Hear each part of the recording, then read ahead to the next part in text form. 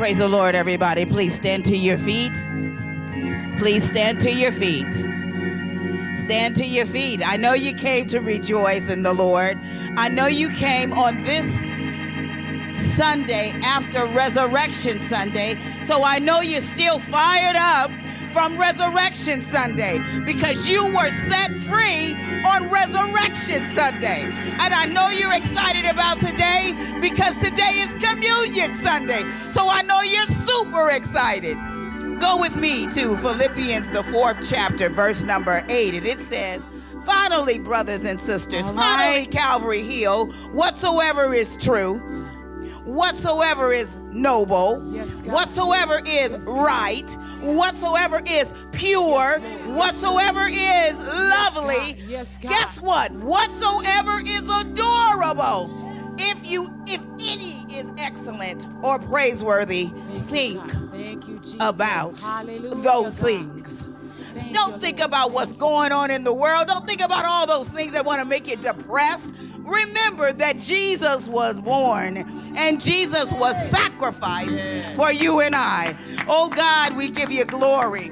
Oh God, we give you honor. Oh God, we think you are noble. Oh God, you are admirable. Yes, you are, oh God, God. you are Yes, you are, worthy of all praise. We are thankful for this, a covenant Sunday, a Sunday in which we can commune and say to the world that we love you and we give you glory. We honor what you have done for us in the sacrifice of your life. We pray it all in Jesus' name. Calvary Hill present, Calvary Hill online. You have been called into worship. Man. Come on, lift up holy hands if you want his glory to reside in this place. Let the weight of your glory, Lord, rest on us. Ha! Yes, God. Now let the glory of the Lord, yes, God, let it rise among us. Let the glory of the Lord, let it rise among us. Let the praises of our King rise among us. Let it rise.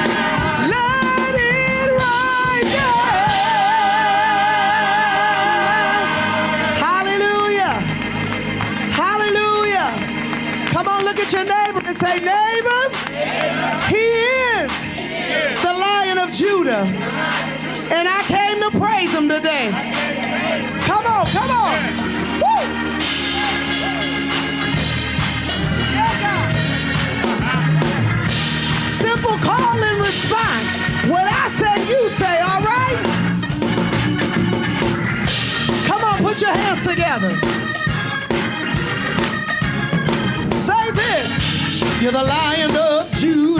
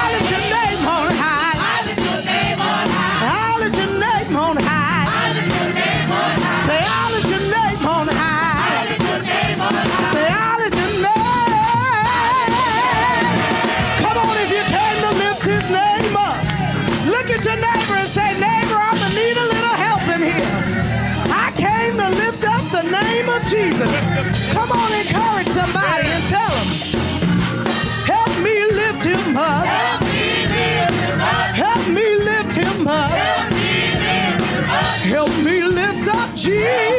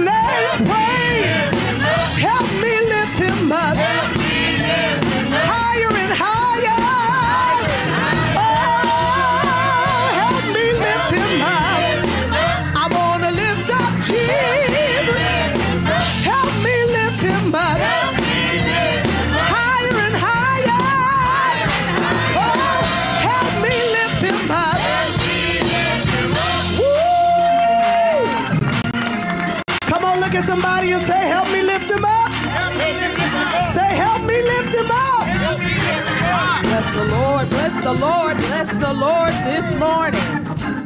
How many are happy to be in the house and know they are blessed? Amen. Welcome, welcome, welcome to Calvary Hill Community Church. We are what? Spirit led, Bible fed, purpose driven church that exists to see souls saved and lives changed. You can have your seat for the moment. You can have your seat, especially if you've been worshiping real good. Amen. Amen. God is good today. We just come to welcome you, welcome you, and welcome you on today. We are glad that you are in the house. We are glad that you are online and that you made it one more time. Somebody say one more time. One more time. It is April. We have made it. God is good. Unfortunately, we know some folks that didn't make it, but God has kept us. God has never left us. God kept us on the living list. Amen. Amen. If this is your first time here or you haven't connected with us yet, we would love to connect with you. Our number is here to connect. Text welcome to 415 687 4667. Amen. Amen. You can pull it out right now. Connect with us. You'll get our information, what's happening in the house, and just connect. Just connect. Maybe you don't want to, you're not a member or what have you, but we have uh, awesome things going on here. You can come, you can visit, and we can connect with you. Amen. Amen. And as our pastor is not here today, let us keep him in prayer for all that he's doing and all that he does. Amen. By the time he gets to us, he's been on 17 planes. Amen. So let's keep him in prayer. And as we pray for him, let's pray today. Let's take a moment of prayer on Faith Sunday. Amen. We are blessed to have a Savior, a Lord, a King yes. that's supposed to rule over our lives, that's to reign, that's to move in our lives. And if we truly believe that Jesus is what he said he was and is, then we don't need doubt. We don't need worry. We don't need fear. We don't need trepidation. We just need him. We just need him. Father, we thank you today. We thank you that you are an awesome God. Thank you, Lord. We thank you that you went to Calvary. We thank you, God, that you didn't just die, but you rose again with all power in your hands, oh God. We thank you, God, that you left that power for us, God. Help that, that power so we can live, so we can move, so we can breathe, so we can grow, oh God, so we can be a better person day by day by day, oh God. You so we can be a better parent, a better employee, a better manager, oh God, a better grandfather, grandmother, oh God, a better auntie or uncle, oh God. Just better, God, in you, Father. Better in who we are, oh God.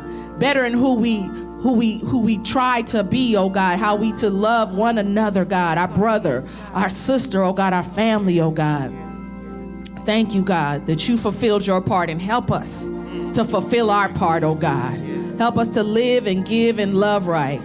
And at this moment, help us to give you a praise, God.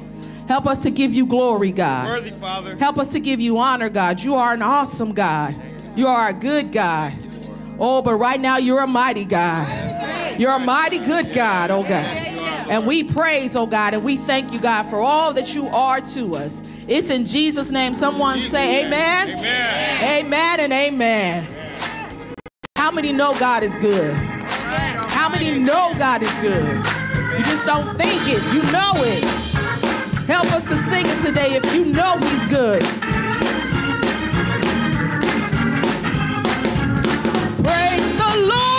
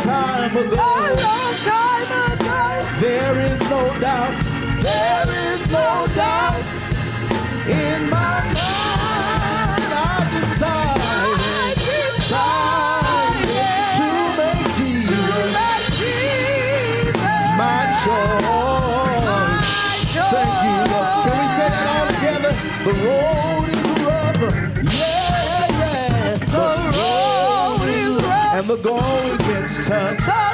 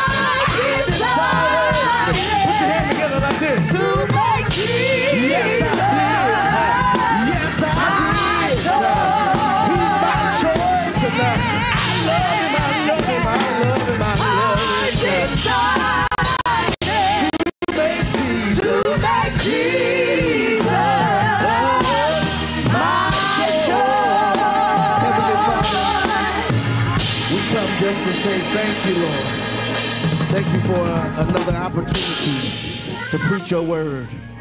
Hide us behind the cross that you may get the glory, the honor, and the praise. In Jesus' name, amen. And thank God. Let's give God one more hand of praise. Amen. We're turning to 1 Corinthians, the 15th chapter.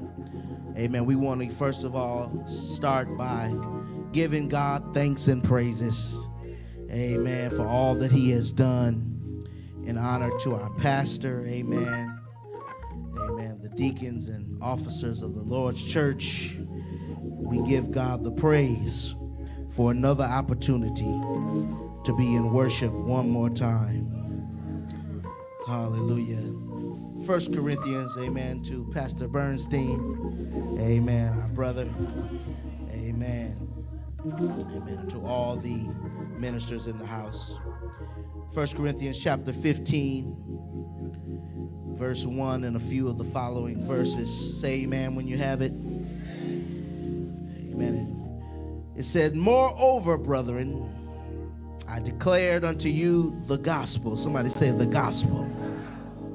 Which I preached unto you, which also ye have received, and wherein ye stand, by which also ye are saved, if ye keep in memory what I preached unto you, unless ye have believed in vain. Verse 3 said, For I delivered unto you first of all that which I also received, how that Christ died for our sins, according to the scripture, and that he was buried, that he rose again the third day, according to the scripture. And that he was seen of Cephas, and then of the twelve. And after that, he was seen above 500 at once, of whom the greater part remain unto this present, but some are fallen. Verse 7 After that, he was seen of James, then of all the apostles. And at last, he was seen of me also. Somebody say, He was seen of me also as one born out of due time. May God add a blessing to the readers, hearers, and doers of his word. On your way to your seat, look at a neighbor, say, Neighbor, the preacher wants to talk about after the resurrection. Amen. Amen. What what happened after the resurrection? On last week, we came to church in our hats and our pastels. and we celebrated the risen Savior. Amen. We celebrated the Christ, the risen Savior, the Son of the living God. And God, in His infinite wisdom, He saw that the world was in a terrible state. He saw that uh, we had failed because of sin, because of Adam and Eve. Amen. Uh, their fall from grace, God had to send a second Adam. Amen. In the Old Testament, he was concealed, but in the New Testament, he was revealed. And I'm so grateful that God has personalities. Amen. And he put himself in the personality of his own self and made himself his son. And is there anybody that thanks God for his grace? We are all standing and living on the grace of God. I come by here to tell you it is by grace that we even are able to make it to, amen, this sanctuary today. And I thank God for Himself because without God, we would be nothing. The old saints used to say, without God, I would be nothing. I'd be just like a ship without a sail. Is there anybody that thanks God for himself? He's Elohim, he's Yahweh, he's Yah, he, he, he's the God of God, he's the King of kings. I used to hear the old preacher used to say, he's so tall you can't go over. He's so wide you can't go around him. He he's so low you can't go under him. He he created the world. He made the sun to shine by day, the moon to glisten by night. Does anybody know God in here? Come by here to tell you, God, He tried with all the prophets. He tried with leaders like Moses. He tried with prophets like Isaiah, but that wasn't enough. So he had to come through 42 generations, amen, and wrap himself up in flesh, amen, and come and save humanity from sin. And I come by here to tell you Christ didn't come through a perfect bloodline. But there were some liars in his bloodline there. There were some fornicators. There, there were some adulterers. There were some prostitutes in his bloodline. Amen. And we expect for people to be perfect. Amen. But I come by here to tell you nobody's perfect but him. And we live in a church scene today. In some places, the church got uh, more judges than the Supreme Court. Folk come to church, amen, like they ain't made no mistakes. Like, Amen. Folk come to church, amen, like when they get up in the morning, they breath don't stink. Do I have a witness in here? But we are all a part of God's church because of grace. And the Apostle Paul helps us this morning. And we know Paul wasn't true. We know Paul wasn't always saved. Paul was a persecutor of Christians. Paul was against the movement and the progress of the church. Anybody that talked about Jesus, Paul would persecute them and lock them up and kill them. Amen. And they would go through for the cause of Christ. But one day, the Apostle Paul had a conversion. He was knocked off of his high horse on the road to Damascus. Anybody know the story about Paul? And Amen. The Bible said a light shined down from heaven and said, Saul, why do you persecute me? And he got a name change. God changed his name from Saul to Paul. Is there anybody that can say, I'm so grateful that the Lord changed my name? When I was in the world, you could call me a whole bunch of stuff, but now I'm a saint. Now I'm on the winning team, as Pastor Bryant told us last week. Now I'm a winner because I've decided to make Jesus my choice. Paul was a very astute man. He spoke seven different languages and he mastered them. And he, amen, was a great orator of the word of God. He was a Hebrew, glory to God. And he was also a Roman. And he had, he was a very astute man in his education. But Paul knew what it was like to be saved. He went to Ananias' house, and Ananias gave him, amen, encouragement to go into his relationship with God. Is there anybody in here that on your way to glory, you're grateful that somebody stopped and talked to you? You heard a word one day that changed the circumference of your life, and now, amen, you are living life in the bliss of salvation. And Paul said, he told the church at Corinth, don't get it twisted. Amen. This gospel, which I'm getting ready to tell you about, which I preached unto you, there's no other gospel. There's no gospel but the death, the burial, and resurrection. So, Paul helps us with a couple of holy hints today.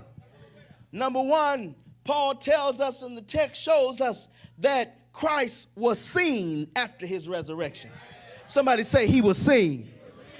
Glory to God. I'm so grateful, uh, Mother Bryant, that he was seen. Paul said, Moreover, brethren, I declared unto you, I'm saying unto you that the gospel which I preach unto you, which ye also received, wherein ye stand.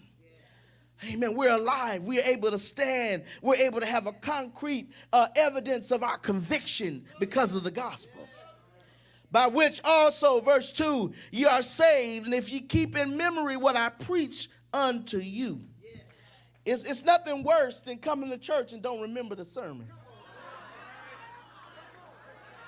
We come to church, amen, and I know we love to holler and we love to hear the preacher squall and almost bust his vein and all of that, amen. Then you get home and then, amen, your, your, your family asks you, well, what did he preach about? You say, I don't know, but he sure did preach. Paul was telling them, don't forget what I've been preaching to you. He said, I delivered to you first that, that Christ died for our sins according to the scripture. Amen. There, there, there, are several other religions out there that have a narrative like the Bible narrative, but ours is the truth. Ours is the one, amen, that you can trace back. Every other man died, but he didn't get up. But our Christ rose, amen, after three days and three nights. Do I have a witness in here? And Paul said, amen, that he was buried and he rose again and that he was seen of Cephas. And I'm so grateful I wasn't back there when he rose, but today I'm still seeing him at work.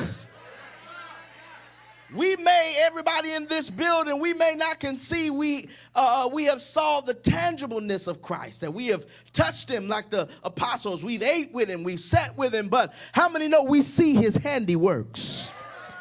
When you go to the doctor and you get a bad report, and after a few months, a few weeks, a few years, you find yourself healed, you've seen Jesus. Uh, is there anybody in here that can say, every time I wake up in the morning, I see him at work? Every, every time there's food on the table, I see him at work. Every time I'm able to drop my kid off and pick him up from school, every day I see God, I see Christ at work. Look at your neighbor. Say, neighbor, the fact that I'm sitting next to you shows that I can see him. Is there anybody that can say, if you're looking for a miracle, just look at me. If you're looking for somebody that God has been good to, just look at me. Make it personal. Say, I've seen him. I've seen him. I've seen him at work. People would think we're crazy because we come to church every Sunday, amen, during the month, and we serve this Christ who we've never seen. But I come by here to tell you, I may not have seen him in the physical, but I see him in the spirit. You can't get this twisted. This is not just a natural thing, it's supernatural. Some of the things that has happened in your life, you cannot explain it because it's a supernatural occurrence. And supernatural is when God puts his super with your natural and he makes your mess into a miracle. Somebody shout hallelujah. Paul said that he was seen. Look at your neighbor say he was seen after his resurrection. Not only was he seen, but number two, he gave us a story to tell. He gave us a story to tell. Now, if, if there was no resurrection of Jesus, then our lives and our fellowship would be in vain. Our story would be a complete failure. The resurrection is our fellowship. That's why, amen, we come to church on Sundays because we glorify God because we celebrate a risen Savior. And if you didn't close your Bibles, I want you to turn real quick, amen, to Luke 24. Luke, the 24th chapter. Glory to God. Luke tells us, amen, how Christ was risen from the dead. Luke 24, uh, looking at verse 1, he said, Now upon the first day of the week, amen, if it's in there, if you ain't tore it out, very early in the morning they came unto the sepulchre bringing spices which they had prepared and certain others with them now in hebrew culture amen let me, let me point this out to you amen it's not jewish culture but it's hebrew culture. Because anything with ish at the end of it is likened unto a thing but it's not the thing.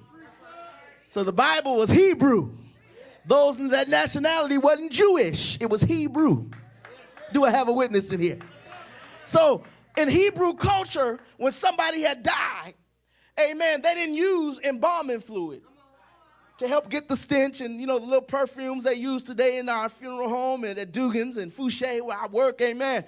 They didn't use all that stuff. They brought Fray and Merkinson so that the body wouldn't have an odor to it. Now, Evangelist Evans, I had a question to those that brought that stuff because they were out of order. How you gonna bring something up for a dead person that said he was gonna get up? Amen. And how many times do we come to church and we bring God our problems and we figure he can't fix them? They brought this stuff, amen, to, to a man, to a Christ that told them that he was going to get up. And when they went, amen, because of my sake, because of the sake of time, I don't have time to read it all, but they went and he was not there. The Bible said that the stone was rolled away.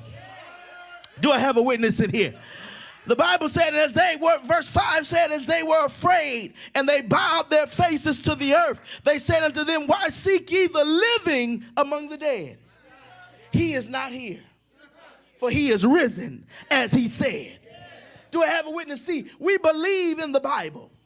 We believe in the resurrection. It, it's sad to hear people say that they're atheists and they're all this, these other things, and they don't believe in all this. And you ask them, well, what, what is the date today? And they say, well, the date is whatever, 2024.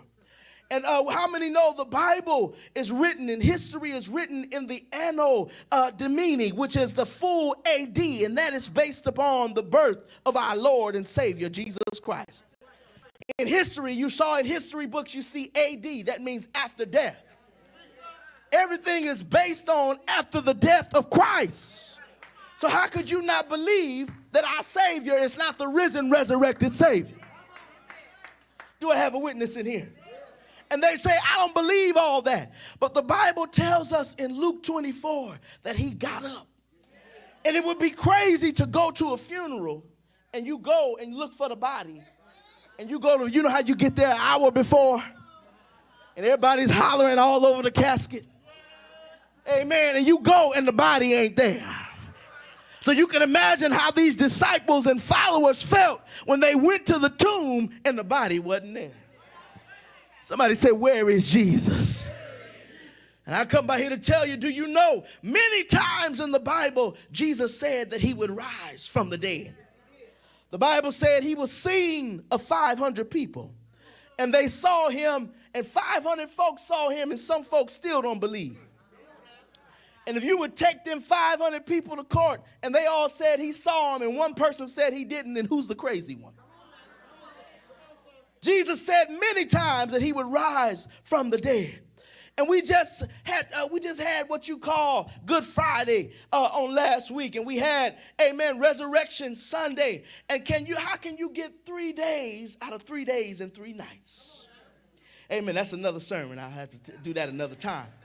But a lot of times we do things in church that's traditional, but it's not necessarily right. I Told you a couple of weeks ago, amen. It may be the right thing, but is it the righteous thing? Amen. And so, in actuality, we would actually call it Good Wednesday. Because Wednesday, Thursday, Friday, Saturday, amen, and he got up on Sunday. But he went through that whole Calvary experience from Wednesday all the way to Sunday. Do I have a witness in here? But you know, we preach and we, we holler Friday, Saturday, and Sunday, and there's nothing wrong with that. But we have to keep it in context. And we have to give the people the right information. But what did Jesus do after he rose from the dead? A lot of people think about the resurrection and they leave it right, right there. But the Bible said we have Jesus dying on the Passover. And the Passover to Pentecost, in that 50 days, he appeared unto people a few times. There are several times recorded in Scripture where Jesus appeared. One, he appeared to Mary at the grave site in John 20, 11 through 17. Number two, he came to some woman thereafter in uh, Matthew 28, 1 through 20. To his disciples on the road of Emmaus in Luke 24, 13 through 34. He came to Simon Peter in Luke 24 34. He came to his disciples in Jerusalem without Thomas in John 20 19 through 25. He came to the disciples a week later with Thomas. Amen. And Thomas is a whole nother sermon. Don't talk about doubting Thomas, amen, because we've all doubted him in some way. Amen. We, we, we, we all didn't do right and handle our situation with Christ right. We, we all were Thomas one day. But thank God for grace. And then number seven, he came to the disciples while they were on a boat fishing in John 21, 1 through 12. And these are seven appearances that Jesus came uh, after his resurrection. Isn't it amazing to know that he's always using the number seven? He created the world in how many days? Seven days. He appeared to the disciples seven times after his resurrection. And how many know when he shed his blood, it, it is actually recorded in scripture that he recorded, he, he shed his blood seven times. Seven occurrences in the Bible where he shed his blood. And so a lot of times we preach the seven last sayings of Christ. And there are also seven things that the dying thief said on the cross as well.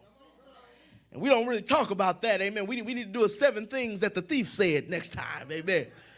But the Bible said that he gave us a story to tell. His death, his burial, and his resurrection is all we need to be a witness to this dying world. I come by here to tell you Buddha died, but he didn't get up. Several Muhammads have died, but they didn't get up. Confucius died, but he didn't get up. Pharaoh died, but he didn't get up. Our Savior is the one who rose from the dead. Not only was he seen, not only did he give us a story to tell, but my next point is he had a place of security.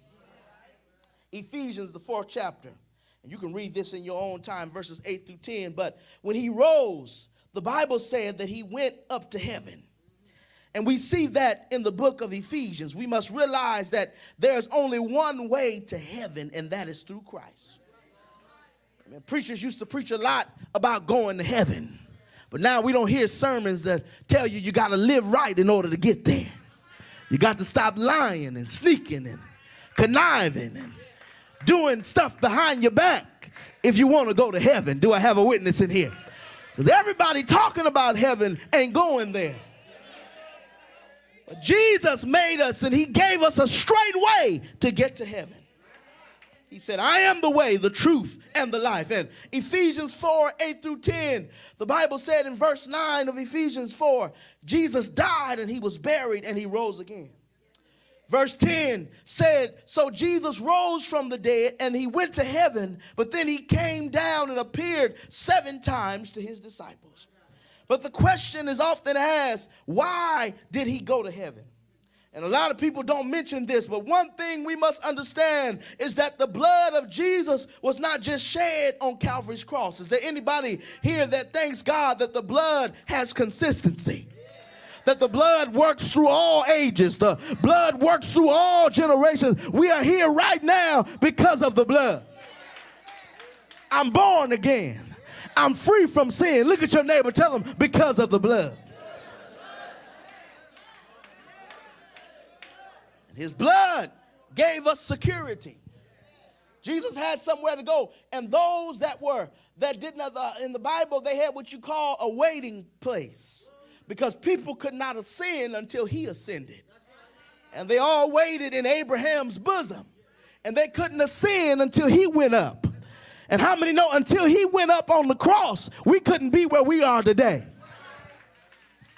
So, what happened in the spiritual, it also happened in the natural. Look at somebody, tell them what's happening in the spiritual is getting ready to happen for you in the natural. God is blessing in the spirit, and you getting ready to see it show up in the natural. Do I have a witness in here? So when he went up, everybody went up.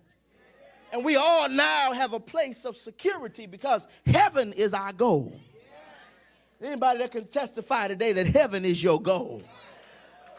Heaven is my aim. Heaven is my goal. Amen. I want to go, amen, drink in that land flowing with milk and honey. I want to go and see the walls of Jasper. I want to go and see the golden floors. I want to go, amen, and be up there with the angels in heaven. Amen. We cry when we stay in church an hour and a half over time. But how many know all the angels in heaven do is bow and say, Hosanna and holy, holy art thou, Lord God Almighty. The angels in heaven, they worship all day. And some of us don't even want to pray or read our Bible during the week. And how many know real worship always involves a sacrifice? If there's no bloodshed, there's no real worship. That's what kills me about this new theology today. We got people telling us that heaven is on earth. How many know we struggling down here on earth? This ain't no heaven. Heaven, you ain't got to worry about PG&E and light bills and gas bills and cable bills and car notes and car insurance. There's none of that. You ain't got no worries over there. Down here, we robbing Peter to pay Paul and we using John's paycheck. Do I have a witness? But when I get to heaven, Sister Janet, I ain't got no more worries. No more headaches, no more heartaches over there in heaven.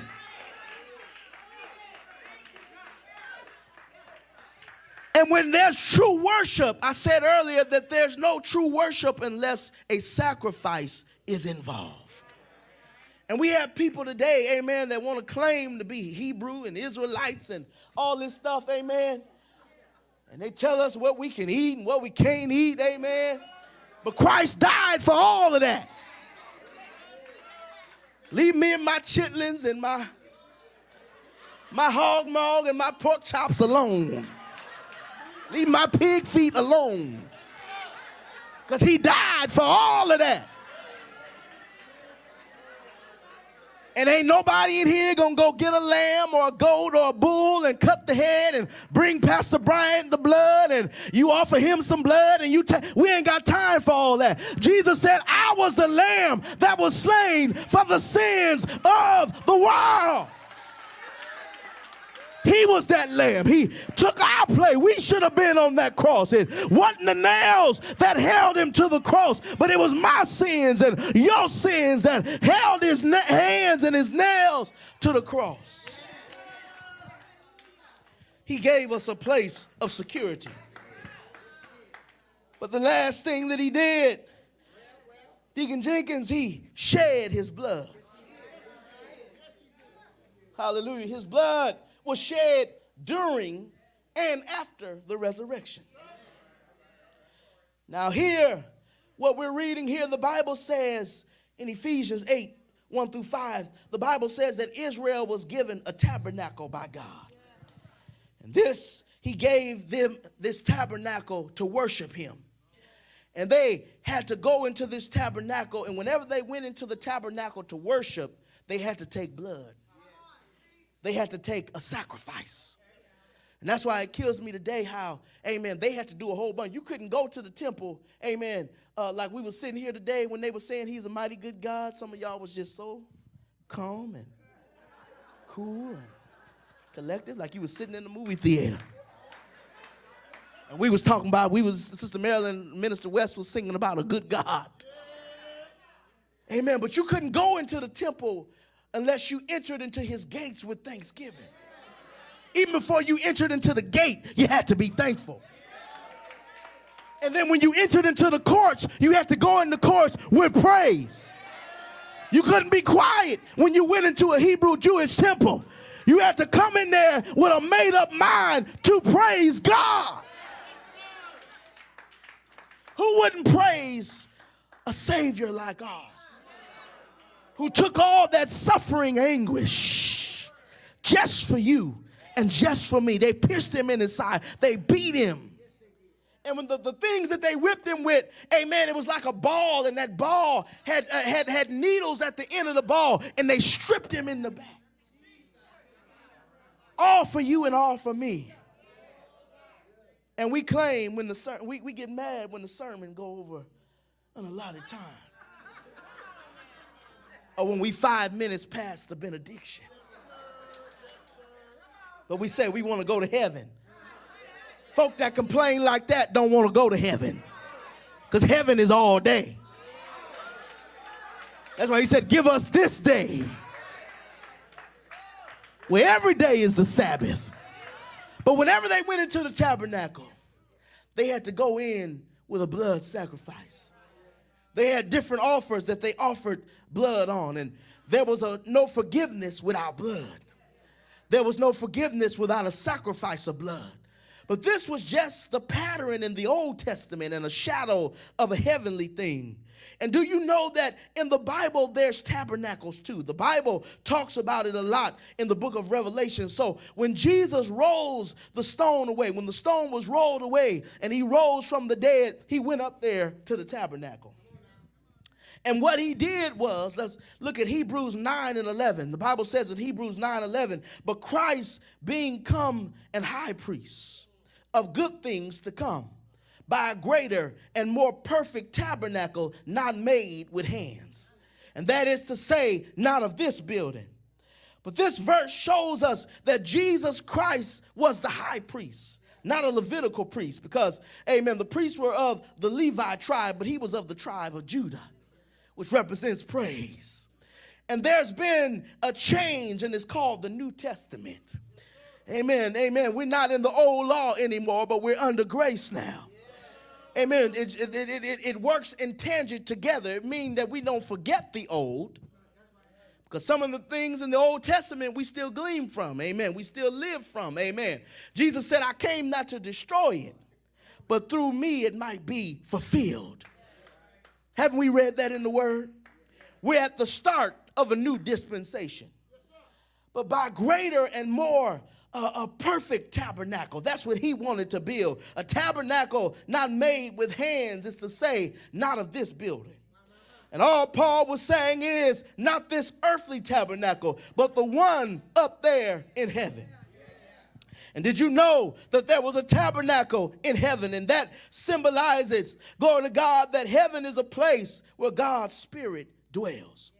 And verse 12 said, Neither by the blood of goats nor calves but by his own blood that he entered once into the holy place, having obtained the eternal redemption for us. We are redeemed because, glory to God, of what he went through. We are alive because of his blood shed. But I wish I had time to break this all down, but there's a story about a leopard that came from Leviticus, the 14th chapter. And every time that a leopard, you know, leprosy was a disease that separated you from society. Amen. If you had leprosy, they didn't want you to eat after nobody. You couldn't go to work. Amen. You couldn't go to church. You couldn't go to school. You couldn't be around your family. But they ostracized and put you aside in your own little corner. But there was a process that was mentioned in Leviticus 14 that helps us understand the blood shedding of Christ. The Bible said in Leviticus 14 that the priest had to dip his finger in oil. And after the application of blood, the priest sprinkled the oil with his finger seven times before the Lord. And he, the leopard was able to be restored. And then the priest applied the rest of the oil to the right ear and to the right thumb. And they had a whole procedure. And then the priest shall command uh, to take the leopard and he would be cleansed and he would use two birds. And with these two birds, he would take one bird, amen, and he would chop off the head and he would run it underwater and he would use that blood to apply it to the sick leper. And the priest would take, glory to God, that blood, amen, and he would make a little concoction and he would apply it to that leopard so that the leopard could be healed. And so the Bible said in Leviticus 14, the priest shall command that one of the birds be killed in an earthen vessel over running water. And as for the living bird, he shall take it and the cedar wood and the scarlet and the hyssop, and he shall dip them in the living bird. And the blood, uh, glory to God, of the living bird, glory to God, shall be dipped in, in the blood of the dead bird. And that dead bird was used, amen. And this was a ritual that they did to cleanse leopards. And I come by here to tell you, we were all like those leopards. We all were spotted and we all were unclean because of the penalty of sin. But watch what happens now.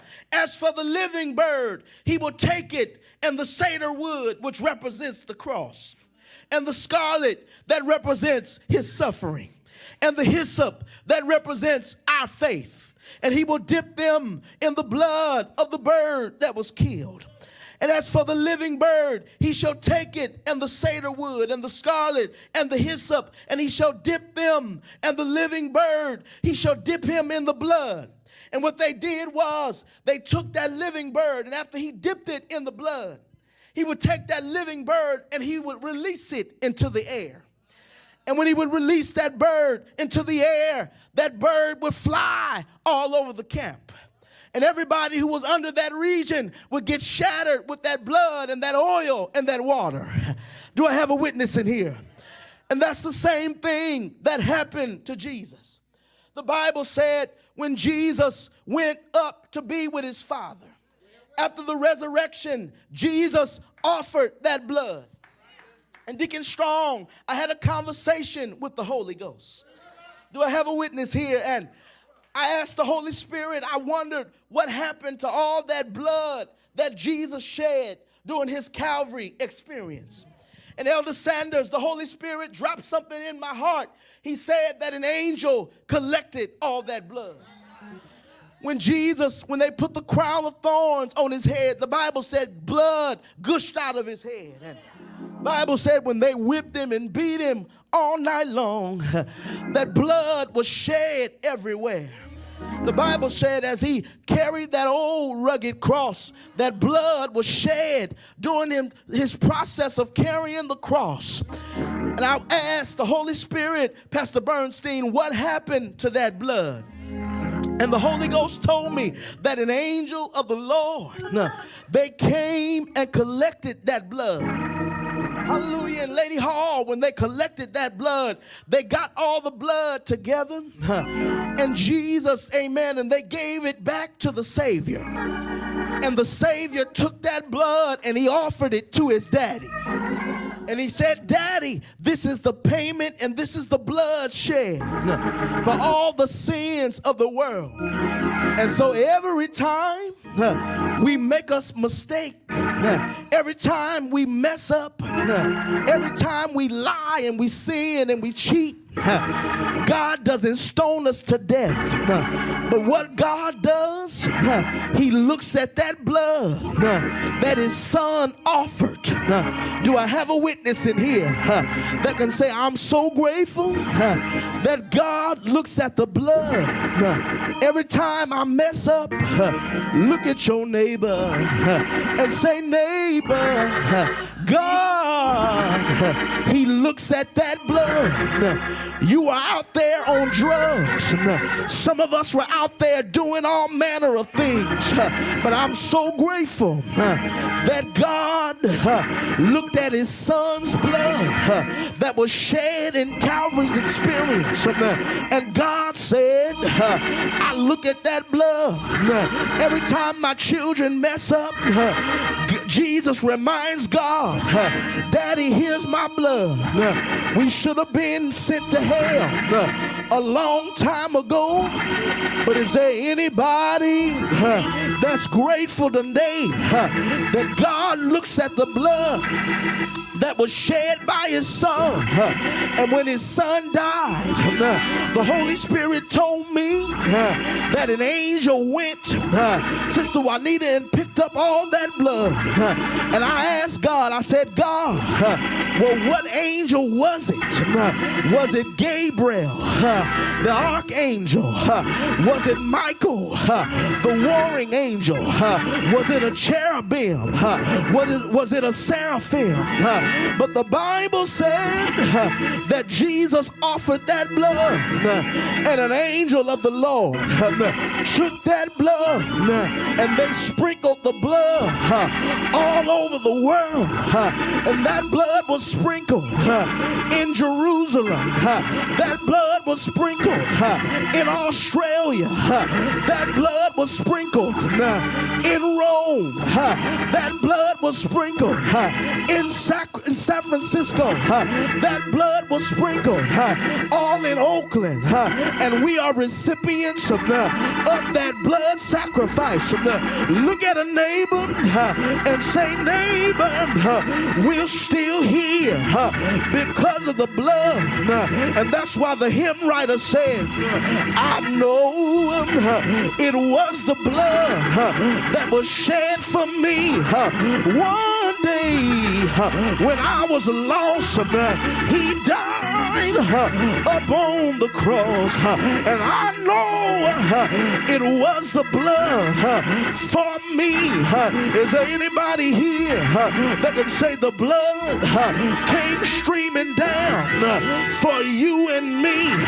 There is a fountain that's filled with blood that's drawn from Emmanuel's vein. Is there any witnesses here that can say, I thank God for his precious blood? When they whipped him all night long, that blood was shed. When they beat him, that blood was shed. And he stayed there three days and three nights. But it was early.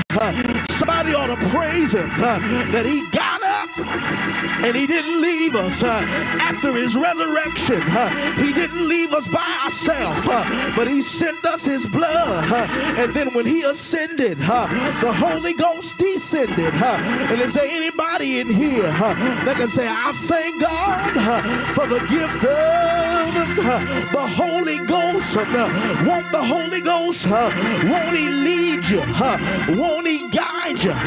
You ought to look at your neighbor and say, neighbor, I thank God for the Holy Ghost. Is there anybody here that can say, I'm saved and I'm sanctified and I'm shown up filled with the Holy Ghost every now and then. While I'm driving my car, I think about the goodness of Jesus uh, and I have to pull over because the Holy Ghost uh, takes over. You ought to ask somebody, neighbor, have you been, since you believe, have you been filled with the precious Holy Ghost? And that's why he said in Acts 1 and 8, and ye shall receive power. After that, the Holy Ghost has come upon you. I don't know about you, but I thank God that Jesus gave us the Holy Ghost. He released his Holy Spirit, and every now and then he gets all in my hands. Every now and then he leads me and guides me. And I thank God that I'm saved and I'm sanctified. Show not filled with the Holy Ghost. Won't he walk with you? Won't he talk with you? Won't he hold you in the midnight hour? I'm so grateful that he didn't leave me comfortless after his resurrection, but when the, he ascended, he dropped down the Holy Ghost. And all you got to do is say, Holy Spirit, come into my life. I give you the permission to lead me and guide me. You ought to run to somebody and say, neighbor, do you have the Holy Ghost? Does he live inside you? Does he walk with you? Does he lead you? Yeah. Yeah, I got it, I got it. You ought to wave your hand if you know you got it. You ought to shout for joy if you know that the blood, the blood still works. The blood still works. The blood still works. Is there anybody here that can say, I'm covered because of the blood? Put your arm around somebody, shake them and rock them rock them and shake them and say, neighbor, I'm here because of the blood. What can wash away all of my sins? Nothing, nothing but the blood. What can make me whole again? Because of the blood. Shake somebody's hand. Say, I've been washed. I've been washed. I've been washed. I've been washed. Yeah, yeah, yeah,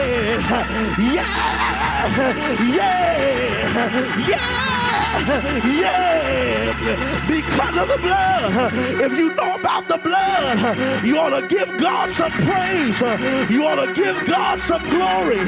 You ought to clean yourself. Say, I've been washed. He sanctified my soul.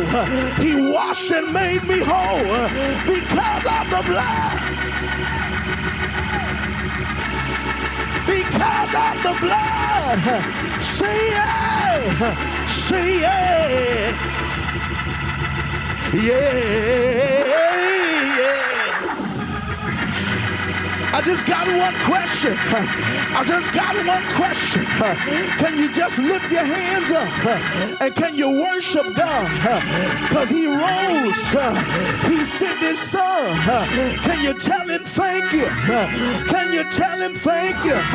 If you know you're redeemed, if you know you've been washed, can you send up a shout? A shout of victory. We got the victory on the count of three. I want us to celebrate Jesus. One, two, three. Come on and praise Him.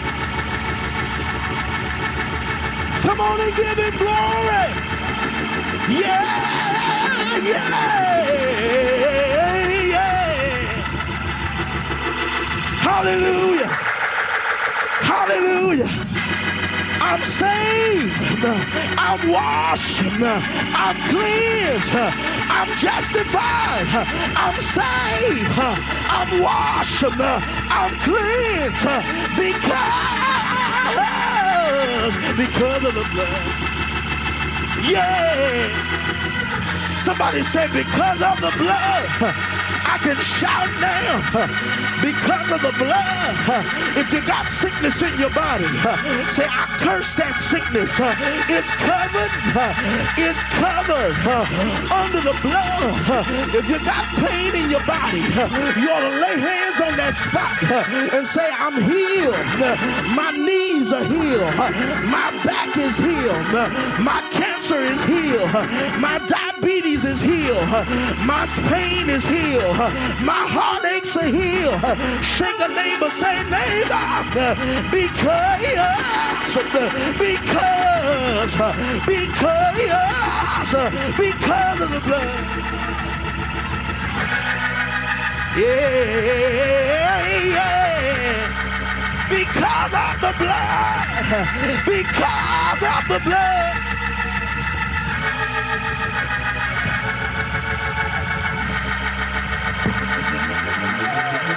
Gracias.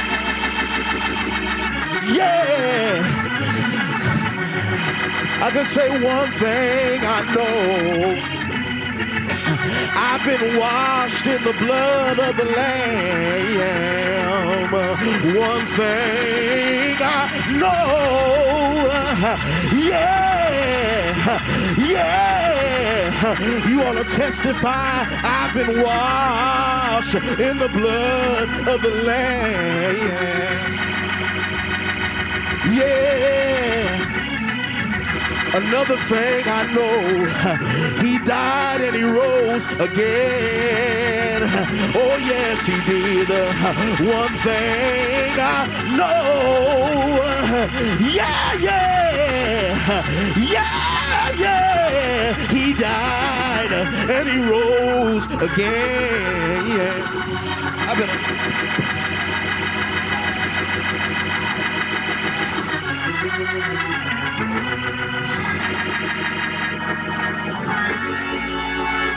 Praise Him.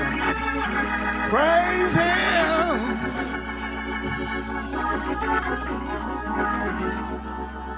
Bask in His Spirit. Let His Spirit engulf you.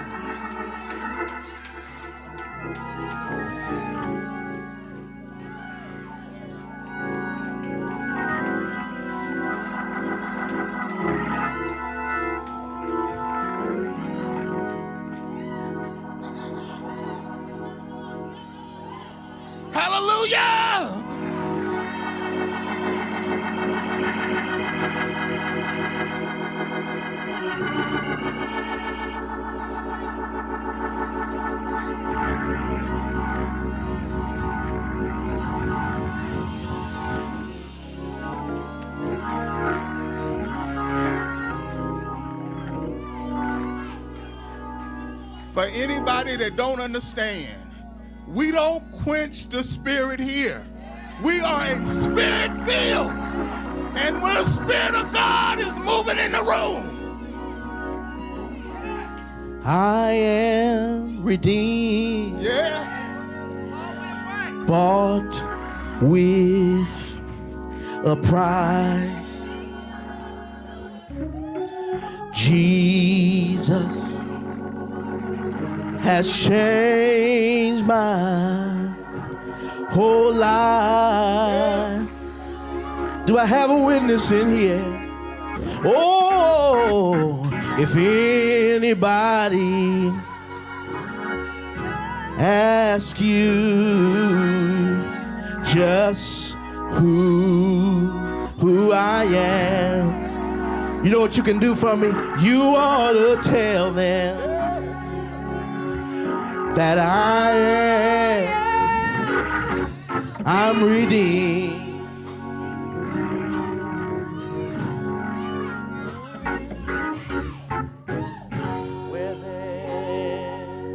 I am redeemed. Yeah, yeah, yeah. Bought with, bought with a price.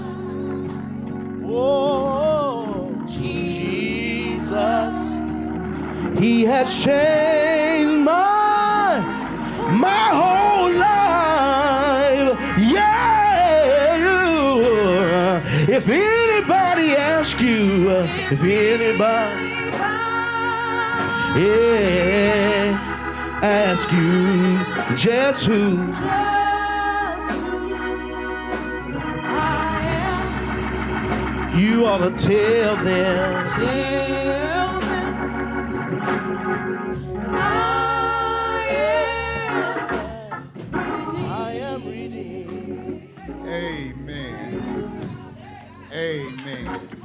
Now, we come to the part where, if you have not accepted the blood of Jesus,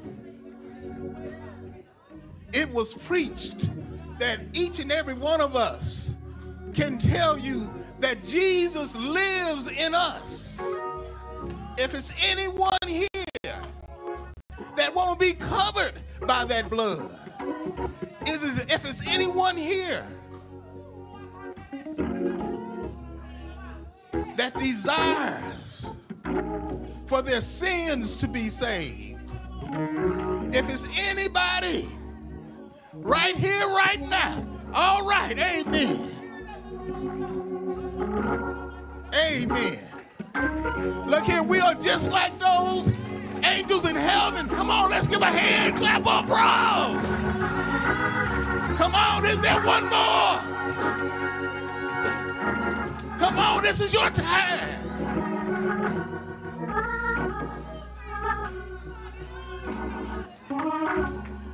Amen.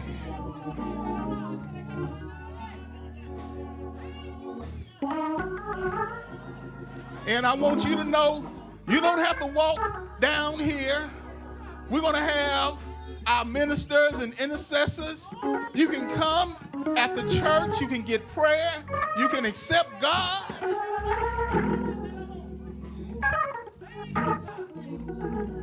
Can we give this young lady a welcoming applause and let her know that we want to welcome her into our family?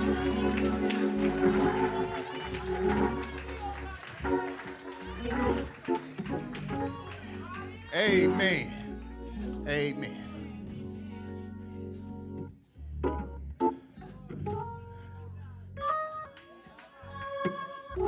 Now, we good. Now I have to do something, and I'm gonna be quick about it. Is this? We got a master's level PhD in the blood of Christ. He broke it down. He got it from the top, came through him to give it to us. Can we give the man of God a, a applause for how God used him today?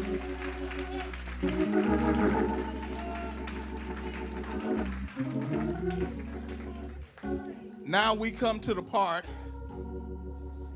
of where we come to the part where we've been worshiping him, we've been shouting, but now we come to the part of worship by what? Giving. At Calvary Hill, we love what? A cheerful giver. See, because see, the Bible tells us is that we praise God how we give to God. Somebody say you've been shouting in church all morning long, and then you go up there and drop two pennies in the plate.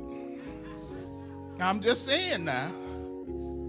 But God loves what you give from your heart.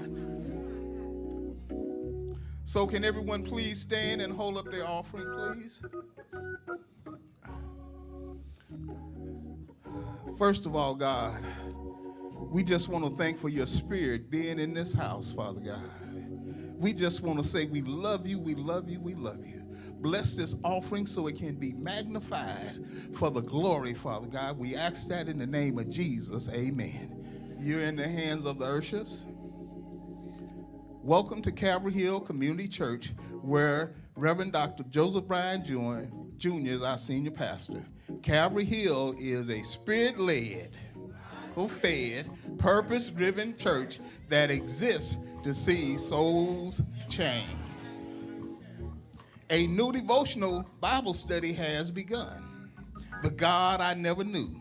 Those that follow us on YouVersion Bible app should have already gotten a notification to join the study.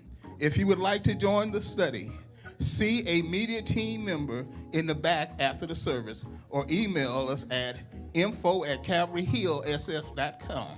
Ladies, mark your calendar. The Sisterhood Ministry pre-Valentine, pre-Mother's Day brunch on Sunday, May the 11th at 11 a.m. The theme, who can find a virtuous woman? Proverbs 31 and 30. Guest speaker will be Lady D. Hillman of Chicago Christian Fellowship. We need a head count for the brunch. So ladies, please scan your card on the flower or click on the link for our website or uh, mobile app. Have you purchased your tickets yet? Get your tickets today for our 70th church anniversary banquet that will be held Saturday, October the 12th at 6 p.m. at South San Francisco. $70 for adult, $25 for children ages 5 to 12 years old. Tickets are available in the boardwalk, or you can purchase them through Eventbrite by scanning the code on the flyer or clicking on the link on the website. VIP Bible study. Now, that is for our seasoned saints. But if you got one of those seasoned spirits, you are invited to attend also. Every Wednesday, you are invited to join Wild Word on Wednesday, 7 o'clock on YouTube and Facebook Live, or on our Zoom, 6.30 for prayer. Join us on Wednesday night. Sign up for our Sunday school classes. You cannot get a closer relationship with God by not studying His Word. If you want to get closer to God, get closer to His Word. And we expect, we expect every member in at least one study. We got them for men's, children's, we got them for ladies. So please get that closer walk with Jesus. Amen.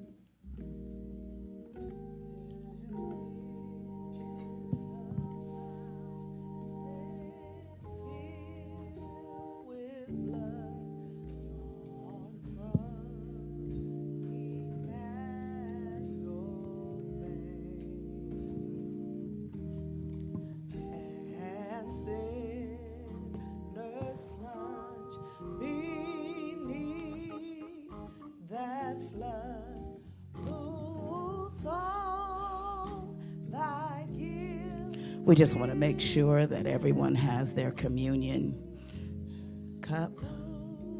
If you do not have yours, please raise your hand and one of the ushers will bring you your communion.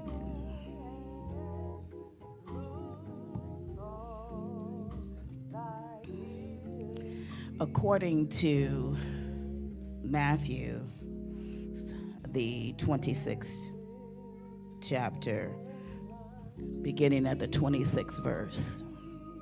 And while they were eating, Jesus took bread, and when he had given thanks, he broke it and gave it to his disciples, saying, Take and eat. This is my body.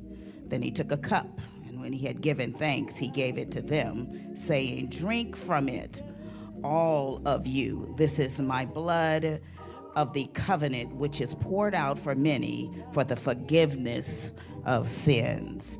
I tell you, I will not drink from this fruit of the vine from now on until that day when I drink it new with you in my Father's kingdom. Father God, we come and we give you glory and honor, and we ask, Lord Jesus, if there's any thing that is separating us from your love. We ask that you cover it with your blood. And we ask for forgiveness of that sin, whether that be a sin of omission or commission, or whether that be a sin where we just willingly, willingly want to sin against you, Father God. We just ask that you're covered with your blood. We thank you, Lord Jesus, that today we are going to covenant with one another. We are going to covenant with you, and we are going to say to the world that we believe in the blood that was shed on Calvary's cross for us, for the remission of our sins. We pray it all in Jesus' name, and for Christ's sake we pray. Amen. If you have your cup, and we'd like for you to turn it to the bread side of your cup.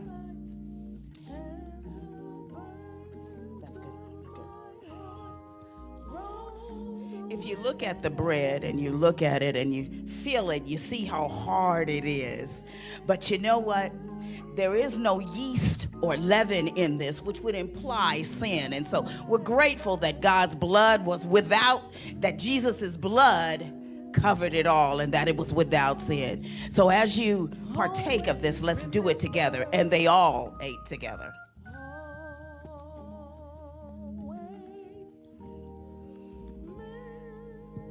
We ask that you flip it up and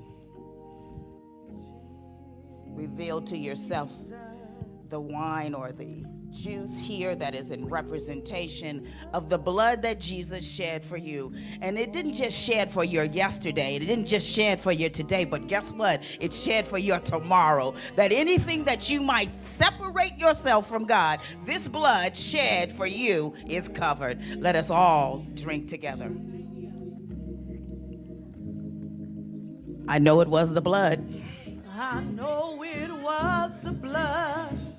I know it was the blood. Say, I know it was the blood for me. One day, one day when I was lost,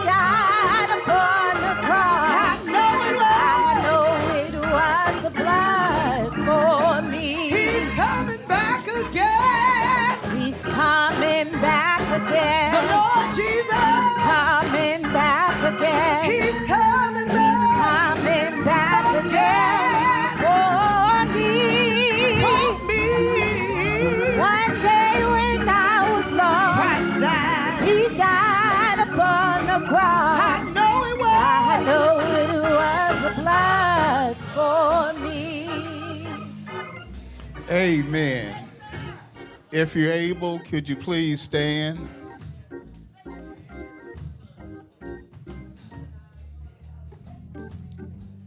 Just let your neighbor know that it truly was the blood.